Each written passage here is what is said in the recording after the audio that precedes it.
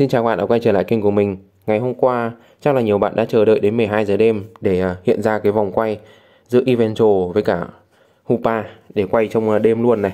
Với mình thì à, lúc đó muộn quá, mà mình cũng chỉ thức đến tầm giờ đó thôi. Cho nên sáng dậy sớm để làm cái clip về 2S cộng đợt này. lần này ở sự kiện vòng quay có mở bán gói độc quyền này.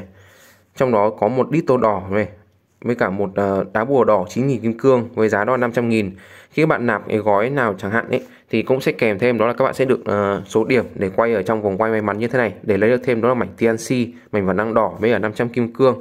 Tính ra bạn nào mà đang kiểu dạng như là chưa mua thẻ phiêu lưu chẳng hạn thì các bạn có thể chờ đợi cái lúc mà có mấy cái sự kiện vòng quay may mắn như vậy các bạn mua thẻ phiêu lưu như thế này sẽ kèm vòng quay may mắn là các bạn sẽ có thêm rất là nhiều kim cương hoặc là chờ đợi lúc nào mà có cái sự kiện tích nạp chẳng hạn này và đợt này thì ờ, sự kiện đó là tiêu kim cương được hoàn trả kim cương ấy. Thì ờ, nếu mà lấy được cả con S cộng ở đợt này chắc khoảng tầm 18.000 thì các bạn có thêm 15 mảnh vẫn năng vàng. Các bạn bạn nào mà lấy được cả đôi chẳng hạn thì có sẽ có thêm đó là tầm 25 mảnh vận năng vàng nữa. Tính ra là tổng 40 mảnh vận năng vàng nếu các bạn lấy S cộng đợt này. Đợt này đây đó là hai S cộng uh, Eventual với cả Hupa canfi này sẽ tiền hóa lên Hupa Unbound này mình thì ờ, đã có sẵn đó là Evangel rồi thì ờ, Đợt này thì mình đang dự tính đó là lấy thêm Hupa Canfai để là một đam chính ở trong team. Ok, bây giờ mình bắt đầu quay. Thì mình sẽ quay 7 lần nhân 10.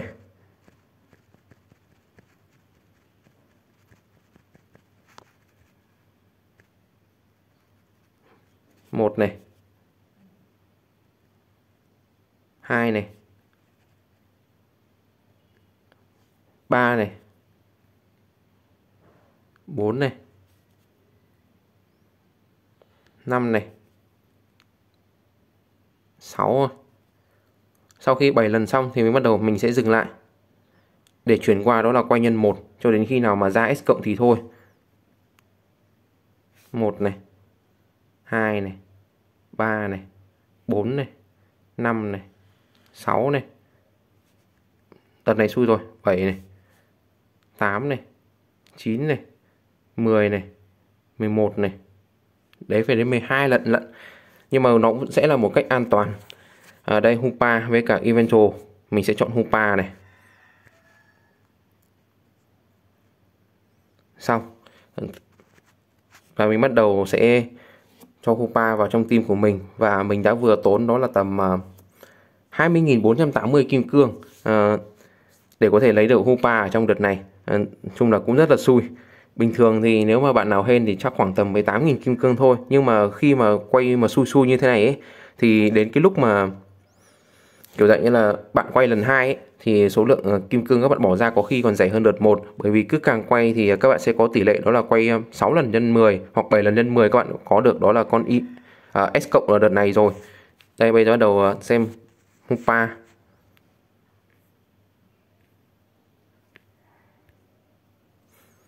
Hopa thừa kế không có hiệu, không có cái tính cách gì cả. Hopa ở dạng đầu tiên, giá trị chủng tộc của nó chỉ có 600 thôi và nó đang là hệ siêu với hệ ma này. Thì các bạn sẽ tiến hóa nó lên. Đó lên level 36 với cả bậc xanh dương cộng 1 các bạn sẽ tiến hóa lên Hupa. Lúc này thì nó sẽ là hệ siêu với cả hệ bóng tối này. Thì nhiều bạn à, có hỏi mình là tại sao có nhiều người chơi ở dạng như không tiến hóa nó lên, thành à, à, ăn bao như thế này nhưng thực ra là họ đã tiến hóa rồi. Và xong rồi thì họ sẽ mua lại cái trang phục cái dạng nhỏ như thế này. Kiểu dạng như là để um, cái hình ảnh của nó trông cute hơn chẳng hạn. Tuy nhiên là các bạn ý trang phục không có tính năng gì thêm này không tính gì thêm. Tức nghĩa là khi các bạn mua rồi kiểu dạng như là chỉ sử dụng cái hình ảnh này thôi chứ không có bất kỳ một cái hiệu ứng gì cả. Ngay cả khi các bạn vào trong trận đấu thì có nhiều bạn nghĩ là nó sẽ chuyển sang thành hệ siêu à, hiệu siêu bóng tối chuyển thành hệ siêu ma chẳng hạn nhưng mà thực ra là ở bản tiếng Việt này chưa cập nhật. Do đó thì ờ, ngay cả khi mua skin xong thì vào trận đấu thì nó vẫn là hệ siêu và hệ bóng tối. Như mình đã nói được trước, đó là khi nào mà ở phần ờ, này có ghi thông tin đó là vào trận đấu các bạn sẽ chuyển được sang hệ ma, thì lúc đó thì nó bắt đầu mới chuyển cơ. Nếu mà lấy Hupa này ờ, tính cách của nó thì mình sẽ ưu tiên đó là chọn về tăng tốc độ này và nếu mà không có tăng tốc độ thì mình sẽ cộng một trong hai loại công của nó. Đó là công đặc biệt hoặc là công vật lý. Hupa nó sẽ sử dụng song công ở trong bộ kỹ năng của nó. Công đặc biệt đó là trong những đòn tấn công của bộ skill của nó, chủ yếu là dựa theo công đặc biệt này. Còn nếu mà theo công vật lý, đó chính là cứ khi mà nó bị đánh thì nó sẽ đánh trả lại địch bằng một cú đấm. Thì lúc đó thì thì nó sẽ dựa theo đó là cái công vật lý của nó. Và, như là lúc mà địch chuẩn bị thoát ra thì nó cũng sẽ kèm theo đó là lượng sát thương dựa theo công vật lý. Thế nên là công vật lý với là công đặc công đặc biệt đó là những cái mình sẽ cộng cho hupa này. Còn đâu thì um, trừ đi thì mình sẽ trừ đi thủ vật lý hoặc trừ thủ đặc biệt của nó. Tốc độ thì nó càng à, như là càng cao thì nó đi ra trước thì nó vẫn không chế địch vẫn sẽ có lợi. Và kèm theo nữa là chỉ số nào của nó cũng càng cao chẳng hạn thì nó cũng sẽ hút uh, cái chỉ số đó của địch càng nhiều. Vậy nên là mình cứ ưu tiên tốc độ ở trong game này trước sau đó đến phần tấn công. Còn về chọn bảo vật dành cho Hupa nếu bảo vật tím thì mình sẽ ưu tiên đó là chọn táo bởi vì là táo này thì nó sẽ giúp cho Hupa nó sinh tồn tốt hơn. Nó chỉ cần sống càng lâu thì coi như nó càng mạnh dần rồi. Thế nên táo này một cái rất là tốt này. Và ngoài ra nữa là táo ở trong solo nó cũng sẽ ổn hơn. Có bạn sẽ sẽ sử dụng đó là cái thiết bị lưu trữ cổ tích này để tăng thêm sát thương dành cho Hupa. Nhưng mà lúc đó thì khi đi Indigo ấy thì táo nó vẫn sẽ có ưu thế. Vậy nên là thôi mình chọn táo để có thể giờ như là vừa giúp cho nó trong arena à, đấu trường vừa trong Indigo nó sẽ lợi hơn còn à, nếu bạn không sử dụng cái thiết bị lưu trữ cổ tích này thì các bạn có thể sử dụng đó là cái trọng lượng sức mạnh để tăng thêm cái à, tỷ lệ kích sát thương gây ra cũng được này. Đá vua thì nó sẽ tăng thêm tốc độ này thì đó là những bảo vật tím các bạn có thể sử dụng nhưng mà táo thì mình vẫn sẽ ưu tiên nhất.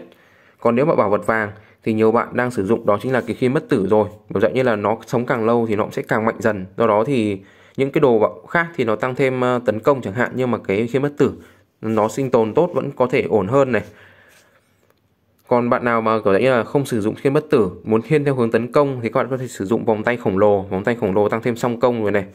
Còn nếu không sử dụng vòng tay khổng lồ thì các bạn có thể sử dụng bảo vật riêng của nó, đó là kính an toàn này. Tức nghĩa là vậy là lúc mà nó đầy nộ ờ, thì nó có thể hóa giải được hiệu khống chế của nó và kèm thêm nữa là tăng tốc độ, tăng thêm cả cái sức mạnh của nó nữa.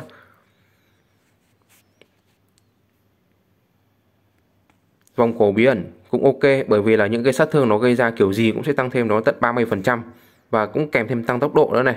Thì đó là những bảo vật vàng các bạn có thể sử dụng dành cho Hupa ăn bao này. Còn về đá bùa đá bùa thì mình sẽ ưu tiên đó là sử dụng những cái mà tăng tấn công dành cho nó. Đầu tiên là đó là đá bùa tên là cú đấm này. Tiếp theo đó chính là những cái mà dạng như là tăng thêm bạo kích đó là đá nguy hiểm này. Còn về phần tiếp theo nữa thì uh, hút máu có lẽ không cần thì các bạn có thể tăng thêm, đó là chính là sát thương. Sát thương để tăng thêm ờ, cái sức tấn công dành cho Hupa này. Còn nếu bạn không sử dụng sát thương thì các bạn có thể sử dụng giảm thương. Thì đó chính là bốn đá bùa mình có thể trang bị dành cho Hupa này. Và chúng ta sẽ cùng đến với phần chip. Với chip thì có lẽ là nhiều bạn giờ đã nhận, kiếm nó rất là khó này, bởi vì là chỉ có trong phần nó là free một lần một ngày hoặc là nạp thì mới có này, hoặc là bỏ kim cương ra nữa thì với chip này nếu bạn thiên hướng với tấn công thì có lẽ chip sói có lẽ rất là ổn dành cho Hupa này.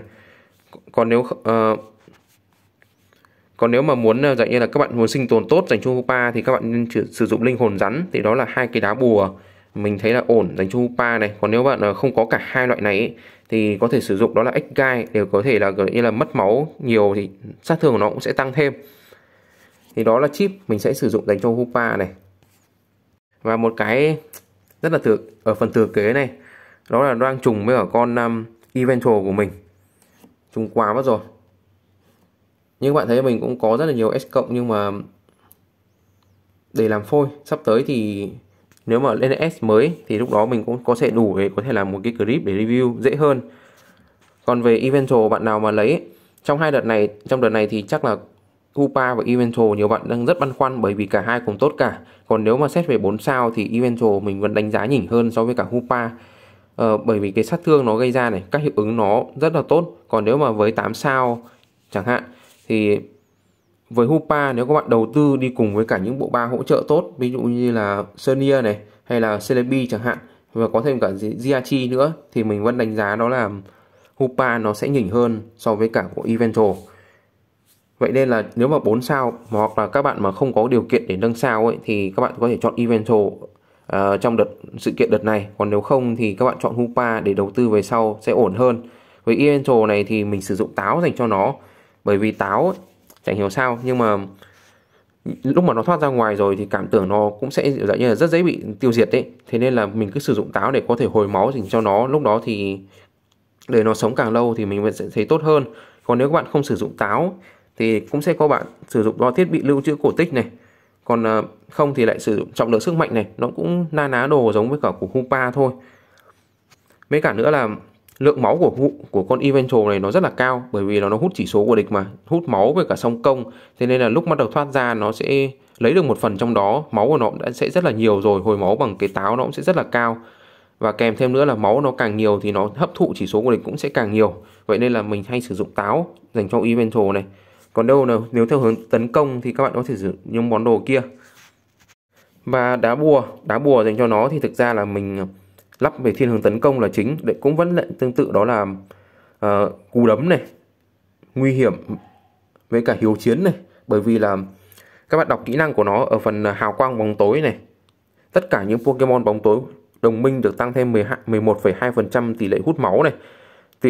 Pokemon hệ bóng tối thì chúng ta đang có đó là Hupa ăn bao rồi. Nếu đi kèm với Elemental nữa thì ờ, Hupa nó sẽ có thêm 11% tỷ lệ hút máu. Còn bản thân có sẵn cái tỷ lệ hút máu như thế này rồi thì Elemental cũng không cần lắp cái ờ, ờ, đá bù hút máu làm gì cả. Thiên hướng tấn công nhiều là chính thôi. Còn nếu nói về chip ấy thì mình đang có bộ chip này thì mình xài thôi. Đó chính là cái chip uh, uh, giảm nộ của địch. Lúc mà nó thoát ra ngoài thì hầu như là nó sẽ có thể được ulti luôn. Bởi vì là đồng đội mình chết hoặc là hoặc là đồng đội mình chết chẳng hạn. Có một đồng đội thôi thì coi như là cũng có khả năng có thể đầy nộ được rồi. Và cái chữ chip này vừa ra phát, ra đòn tuyệt kỹ là cũng sẽ coi như giảm nộ của địch này. Ở đây, một là chip nỗi sợ. Còn nếu các bạn muốn tăng thêm tấn công thì à, đó chính là ếch gai với cả sói đơn độc là những cái chip mà các bạn à, có thể sử dụng dành, tăng thêm sức tấn công dành cho eventual của bạn. Thì mình đã nói về cả hai đợt này rồi với Eventual này tính cách của nó có người chọn đó là cộng công đặc biệt và trừ tốc độ của nó mục đích của họ đó là muốn cho Eventual trở thành Pokemon đi cuối cùng ở trong team lúc đó thì mới bắt đầu xuất kén. Cũng theo, theo kiểu mà để ở dạng như à, bảo vệ cái đồng minh mà ở dạng như là nó đứng ở hàng sau nó ấy, tránh được những sát thương đến từ hàng dọc bên địch này. Với Hupa này thì nó đang có cái à, hiệu ứng hình con rơi ở trên đầu của nó này. Đó chính là cái tỷ lệ hút máu của Eventual nó bổ trợ dành cho những Pokemon hệ bóng tối ở trong team của bạn này, đó là tăng thêm 11% tỷ lệ hút máu. Với Hupa này 8 sao có sự khác biệt hơn nhiều so với 4 sao hay không? Thì thời kỳ mà, gọi là, trước khi Giachi chẳng hạn, thì 8 sao của Hupa với 4 sao nó cũng chưa có sự, quá nhiều sự khác biệt cho lắm. Nhưng mà phải đến lúc mà nhiều hỗ trợ ra mắt hơn thì 8 sao này có lẽ các bạn sẽ thấy có gì đó ổn hơn so với 4 sao đấy. Bởi vì là 8 sao của Hupa ấy, thì nó sẽ có sự khác biệt, đó là bắt đầu vào trận đấu thì nó sẽ cướp đi 10% giảm thương của toàn bộ những địch đứng hàng trước rồi. Và nó sẽ cho vào bản thân của nó. Vậy nên là 8 sao của Hupa, bản thân của nó đã có sẵn, đó là 30% giảm thương rồi. Và đến lượt hành động của nó thì nó sẽ chuyển dần cái lượng ờ, giảm thương mà nó cướp được đó, chuyển sang giảm sát thương. Thế nên là với Hupa này thì sát thương và giảm thương của nó sẽ tăng thêm rất là nhiều khi các bạn lên được 8 sao. Đồng thời, địch cũng vậy sẽ bị suy yếu đi rất là nhiều. Với Hupa này kiểu dạng như là các bạn chỉ cần nuôi nó càng uh, sống lâu càng tốt đấy bởi vì là nó cứ hành động đến lượt hành động của nó là coi như là nó đã hút chỉ số của địch rồi. Và bây giờ các bạn thấy là đến lượt hành động của Hupa thì 6 chỉ số chính đã được tăng thêm rồi đó là dựa theo 8% uh, ờ, cái chỉ số gốc của nó. Tức nghĩa là cứ mỗi lượt nó tăng thêm 8% chỉ số và địch cũng sẽ bị giảm đi 8% chỉ số dựa theo của, chỉ số của Hupa. Vậy nên là Hupa càng lúc càng mạnh dần mà địch càng lúc càng yếu dần. Và Hupa đây mình chưa nuôi gì cả nhưng mà nó lại đi kèm với cả có cả hút máu rồi này vậy nên Hupa là một con kiểu như là các bạn cứ nuôi theo kiểu mà cho nó sống càng lâu càng tốt như thế sẽ ổn hơn. Còn với Eventual nhiều bạn đều như là trừ tốc độ đi thì đến uh, sau khi bên bạn hành động hết xong thì nó bắt đầu sẽ xuất kén này. Còn nếu không thì uh, nó sẽ theo kiểu mà đến lượt hành động của nó này thì nó sẽ làm cho địch nhờ, thoát ra và kèm theo nữa đó là một hơi thở hóa đá làm cho toàn bộ địch sẽ bị hóa đá này với tỷ lệ đó 50% Vậy nên đây là hai Pokemon có thể nói là tốt ở trong thời điểm hiện tại.